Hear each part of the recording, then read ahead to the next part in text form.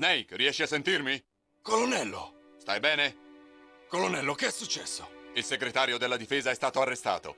Pensionamento anticipato. Arrestato? Sono riuscito a mettermi in contatto col presidente. Il Metal Gear, l'esperimento, tutto quanto. Il segretario della difesa stava agendo per conto proprio. Da solo? Che è successo all'incursione aerea e all'attacco nucleare? Gli ordini sono stati annullati. Gli F-117 e i B-2 Spirit sono tornati alla base. Ho di nuovo piena autorità sull'operazione. Capisco. A Washington non sono abbastanza stupidi da usare le bombe nucleari per coprire qualche segreto. Me lo stavo giusto chiedendo. In ogni caso il pericolo è finito. Grazie, Snake. Colonnello, può dormire tranquillo. Meryl sta bene. Davvero? Oh, grazie. Grazie tante, Snake.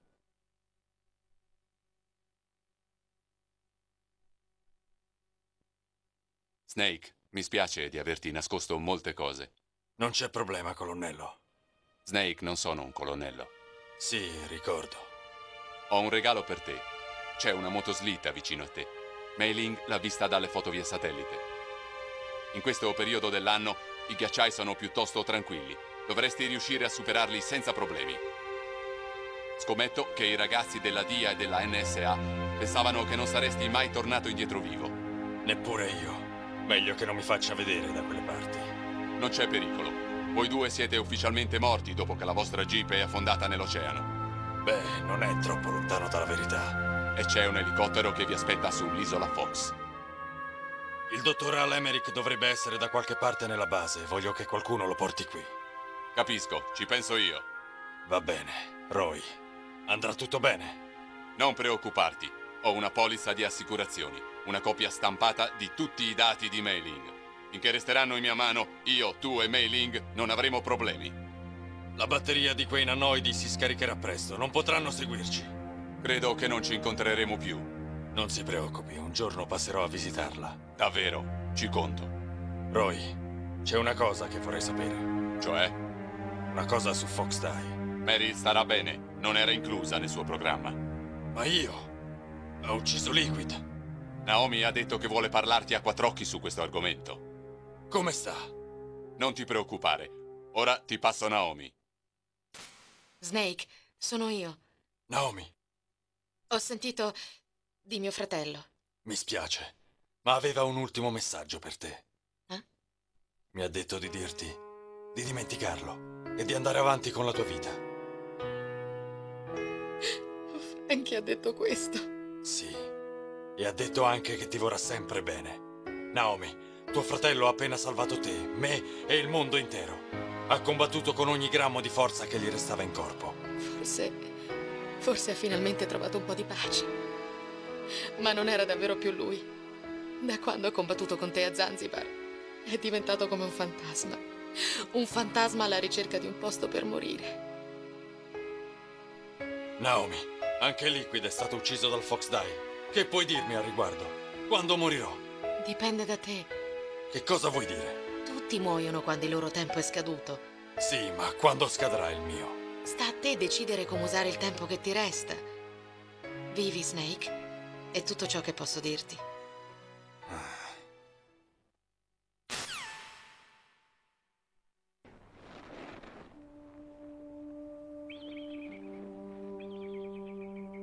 Ogni persona nasce con il destino scritto nel proprio codice genetico. Non può essere cambiato, è immutabile. Ma la vita non è solo questo. Finalmente l'ho capito. Ti ho già detto il motivo per il quale mi sono sempre interessata dei geni e DNA. Perché volevo scoprire chi ero, da dove ero venuta. Pensavo che, analizzando il mio DNA, avrei potuto scoprire le mie origini, il nome dei miei genitori. E pensavo che, una volta che ci fossi riuscita, avrei avuto chiaro davanti a me il percorso da seguire nella vita. Ma mi sbagliavo. Non ho trovato niente. Non ho imparato niente. Proprio come i soldati genetici, puoi inserire in loro tutte le informazioni genetiche che vuoi, ma non puoi renderli invincibili. Ora il massimo che posso dire del DNA è che governa il potenziale di una persona, il suo destino potenziale. Non devi lasciare che il tuo destino ti incateni a sé, che i tuoi geni ti dominino. Gli umani possono scegliere la vita che vogliono vivere. Snake, che tu sia o meno nel programma Fox Die non è importante.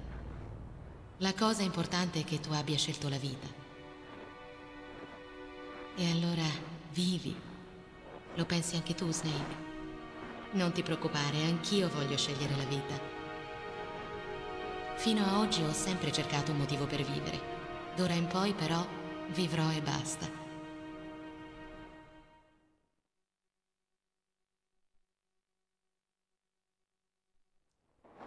I geni esistono per trasmettere i nostri sogni e le nostre speranze nel futuro attraverso i nostri figli.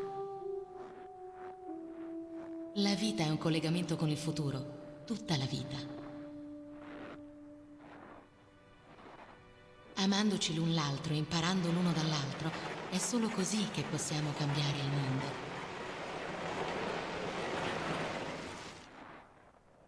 Finalmente l'ho capito.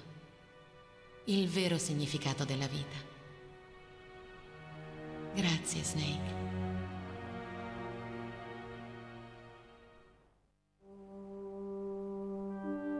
Guarda, ho trovato questo. Teniamolo con noi, come ricordo. Di cosa? Un ricordo di una missione vittoriosa oppure della prima volta che ci siamo incontrati? Un ricordo di come vivere. Mm? Fino a oggi sono vissuto solo per me stesso. La sopravvivenza è stata l'unica cosa di cui mi si è mai preoccupato. Non sei l'unico. Per tutti è così. Mi sentivo veramente vivo solo quando fissavo la morte negli occhi. Non lo so, forse è scritto nei miei geni. Ora che accadrà? Che cosa dicono i tuoi geni del futuro?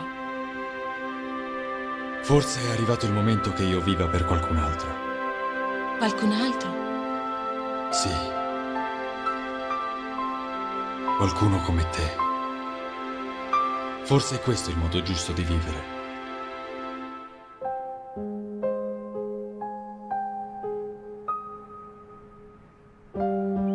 Allora, dove andiamo, Snake? David. Mi chiamo David. Ok. Dove andiamo ora, Dave? Mm. Penso che sia ora di cercare un nuovo sentiero nella vita. Un nuovo sentiero? Un nuovo scopo. E lo troveremo? Lo troveremo. So che lo troveremo. Che animali sono? Caribù.